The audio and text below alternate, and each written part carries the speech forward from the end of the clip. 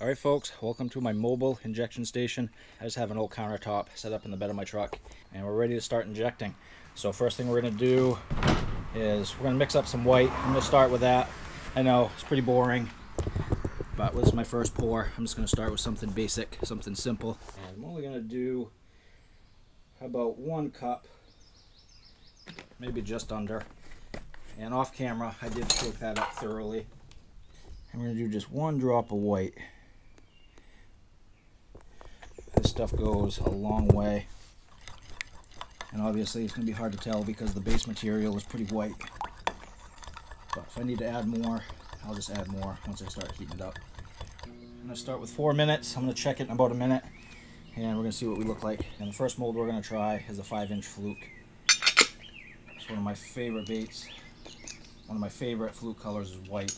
So this will work pretty good. So we're going to shoot this one first. And then I'm going to try to shoot the Hellgrammite mold. Alright, so we've hit the gel stage. You see how that's really jelly-like. Next stage is going to be pourable plastic. Hopefully in another minute or so, this will be ready to pour. That's nowhere as near as white as I would like it to be. So I'm going to mix in another drop or two of white.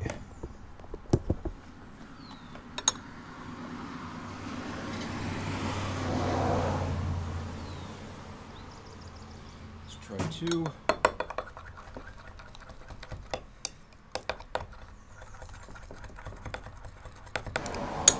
Alright, we're going to go in for about another minute. Our first injection.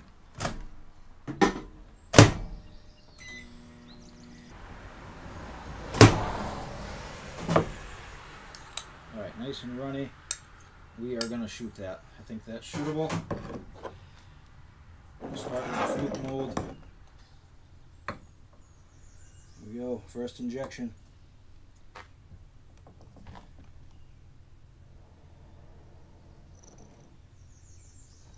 that feels pretty stiff right there.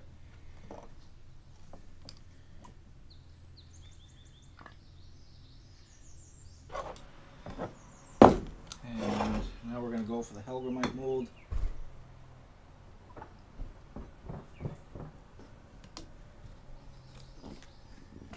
Here the air purging. I think we need a little more. It's good. I don't think we got it all that first one. Is that a syringe? Yeah, it's an injector, right? I don't know. We'll see. That was uh, close. It looks full. Yeah, that one was close. I'm going to try to shoot the small fluke.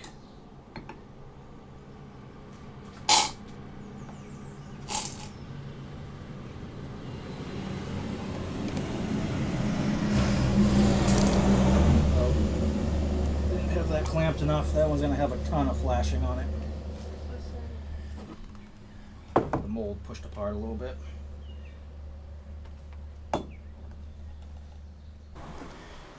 Alright, it's been a minute or so. Let's see how this fluke looks. First injection. And we have a white fluke. Nice. And we have quite the air pocket there. That's not what we want. Alright, let's see how these look. Alright, that one came out pretty good. Uh, actually, a couple indents, air bubble. But for me, that's fishable. What'd you put in Had another little indent right there. Another indent there. Pretty big indent. That one's not fishable. That's going in the remelt. This one came out pretty much perfect. Pretty big air bubble right there. Big indent there. That side came out fine. Oh yeah, that's a big. Yeah, got some work to do. I'd say that's not bad for the first injection. Let's try the Hellgrammite. Guess I underestimated how easy it would be to separate these.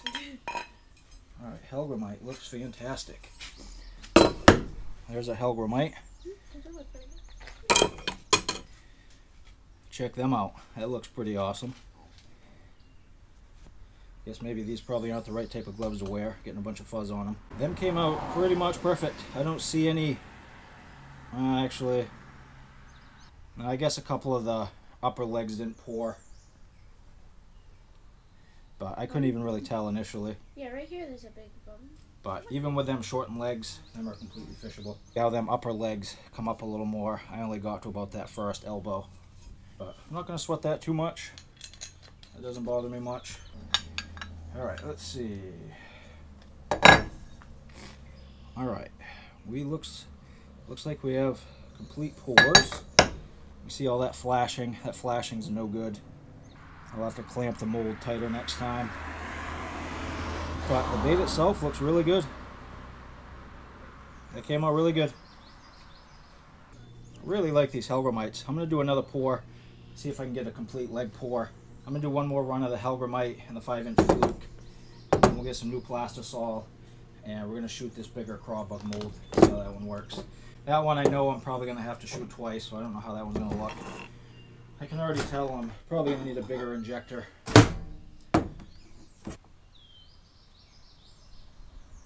It's funny, like it sometimes almost half feels like it's not getting plastisol. Just like that. Got that one. That first one I just got mostly air for some reason. Don't think this will be a good shoot, but let's try it. No.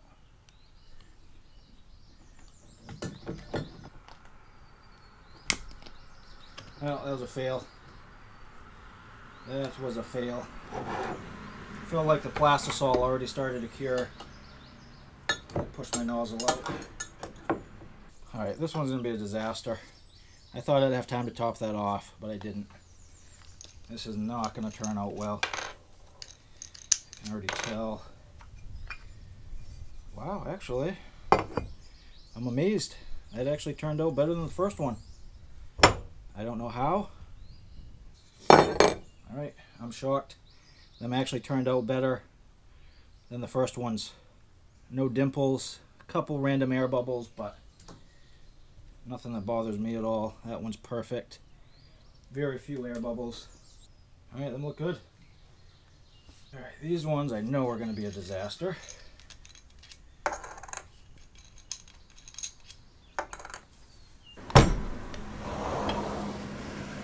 Okay, wow, I am wrong again. Came out better than the first time. We got a complete pour. And I guess I had quite the misperception of what was air and what was actually plastisol. I thought I was driving mostly air with this one, but it turns out I was driving plastisol. That's why I thought it was going to be a failure. But these ones came out flawless compared to that first batch. You can see how these front appendages are much longer. Um, the first ones were a failed pour. These ones came out awesome. All right, what we're gonna do now is I'm gonna clean out that Pyrex cup and we're gonna shoot the crawbug mold and I'm gonna maybe try to just shoot for like a natural, I don't know, green, green pumpkin, something like that. Nothing too crazy with color combos today, but I'm gonna try to get something a little more natural. All right, I think we're ready to add some color add a drop of green. See what that looks like.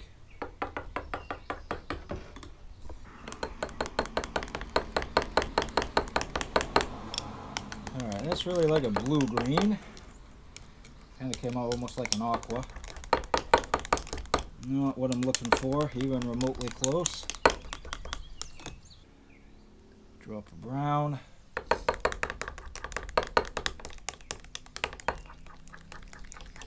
There we go. It looks a little more green pumpkinish. Yeah, that ain't half bad. Let's rock and roll. Alright, here we go. Crawbug. First shot. Not really even close to filling. I don't think anyway. Hmm. I have no idea, guys. Alright, guys, crawbug. Let's see how it looks. I had to shoot this one twice. I have no idea how that's going to affect the bait. There'll be like a little air bubble there, division line, I have no idea. All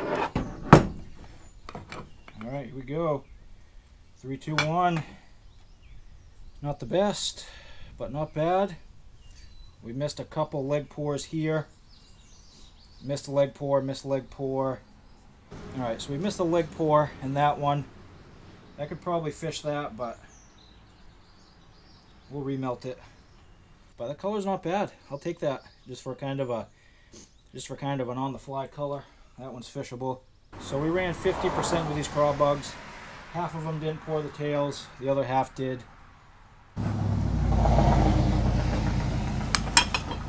Oh boy. Them came out pretty darn close to perfect.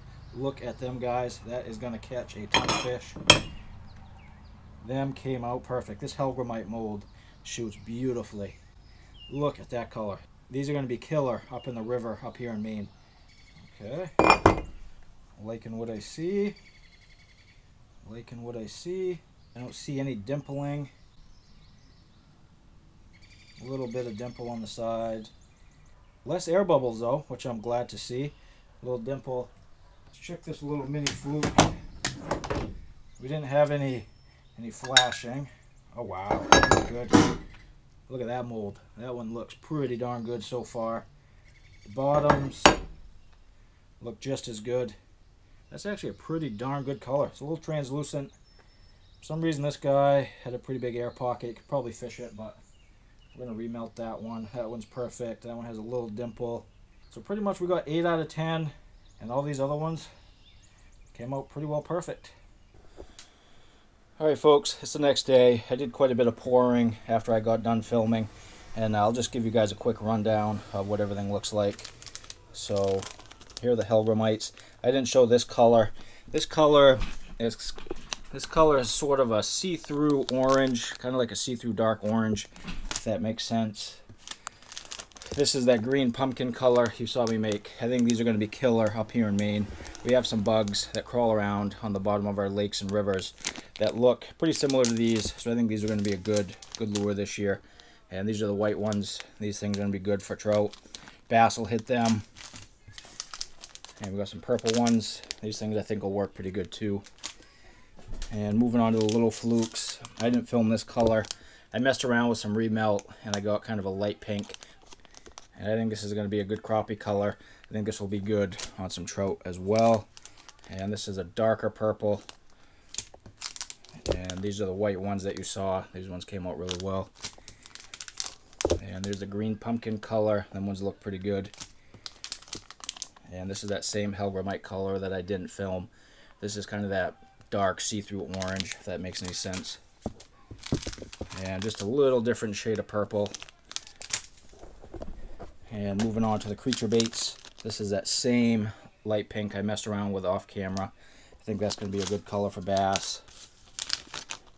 This is some darker purples. And here's some of the white ones. The ones came out good.